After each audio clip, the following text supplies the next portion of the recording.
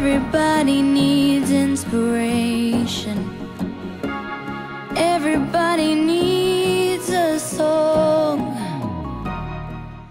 The Dream Workshop taught me 26 ways that I can get from where I am now to where I want to be in the future.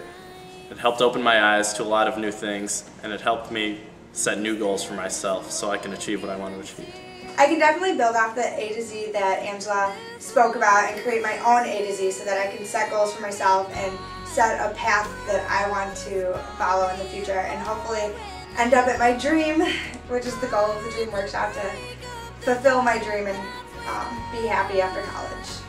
The dream is the future. Uh, you always have to plan for where you're going to go, but you have to plan for the unexpected almost because you can't really, you don't really know what's going to happen, but you know where you want to go, and that is the dream. Your dream is where you want to go, but you may not necessarily get there, but the steps to take to get there are really, really what's most important. The dream to me is the future, but it's also getting there. Um, you can't forget your present. You have to enjoy being in the present. You have to enjoy being in the now, but you have to also be have an eye open for the future and be ready for what's about to come and just be ready in general and have a good, open, positive attitude about everything. After watching the Dream Workshop by Angela Brandenburg, I definitely appreciated her personal stories that I could relate back to my everyday life in college. It made me realize that I can achieve my dreams and it is possible. It's possible because I believe in myself and the people around me believe in me. And it also taught me that positive attitude is everything because if you're down on yourself, you're not going to get very far. And um, as Angela said, you're going to fall down, and you may fall down seven times, but that eighth time you pick yourself back up and keep going.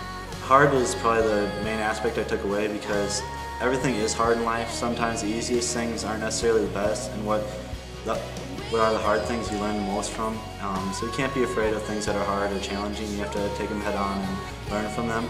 People may put you down along the way and may say things that may hurt you, but you have to remember that you wanted something and you wanted that dream for a reason, so you need to just continue and move forward.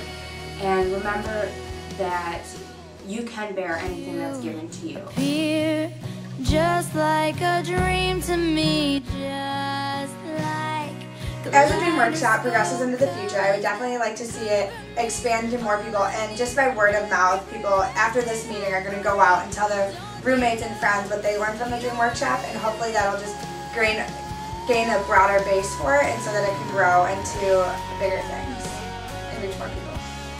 I think the message they took home today was that I can do it and I can succeed and I should follow my dreams and I need to follow my dreams because you can't succeed without yourself and you just need that in life. You need that dream and not be afraid to do it be ready. Just be ready for anything. The unexpected is coming, and and just be prepared. Be very ready to tackle every hurdle. Be ready to just go out there and fight your fight and do what you want to do. And if you really want something, just go for it.